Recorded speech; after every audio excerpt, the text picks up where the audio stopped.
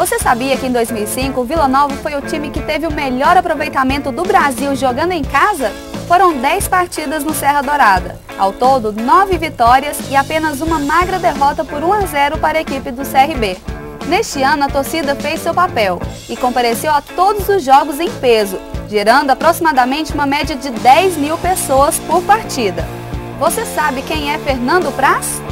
Ele é o atual goleiro do Vasco da Gama, nosso próximo adversário. O time carioca possui a defesa menos vazada do Brasileirão Série B. Até a 28ª rodada foram apenas 18 gols sofridos. O Fernando já foi goleiro do Vila Nova em 2001. Vamos relembrar? Naquele ano, o Tigre foi campeão estadual com uma campanha incrível. Foram 20 jogos, sendo 16 vitórias, um empate e apenas 3 derrotas. Fernando praticamente vedou o gol colorado e sofreu apenas 18 gols.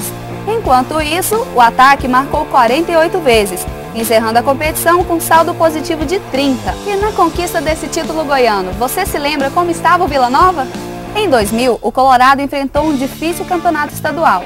Severamente prejudicado pela arbitragem, o Vila não compareceu a um jogo contra o Goiás, e a punição foi o rebaixamento para a segunda divisão. Ainda no mesmo ano, o Tigre disputou a Série B e sagrou-se campeão goiano da mesma, subindo novamente para a divisão de elite. E o time recomeçou embalado, com sede de vingança. Na final do campeonato de 2001, de um lado Goiás, campeão goiano da primeira divisão da edição anterior.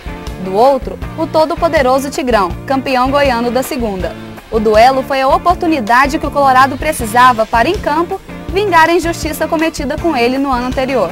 Nas duas partidas da grande final, o estádio Serra Dourada estava lotado para ver o Vila Nova triunfar sobre seu arquirrival. E foi inesquecível. No dia 27 de maio, Goiás 0, Vila Nova 1. Finazzi marcou o único gol da partida. Mas, para a sede do Tigre, um gol apenas não bastava. Uma vitória não era suficiente. Uma semana depois, a raça do Alvirrubro novamente entrou em campo. Com gols de Rogério Correia, Serginho e Túlio, o Colorado sagrou-se campeão goiano 2001 em cima do Goiás. Vila Nova 3, Goiás 1. Arthurzinho foi o treinador que comandou o time nesta conquista.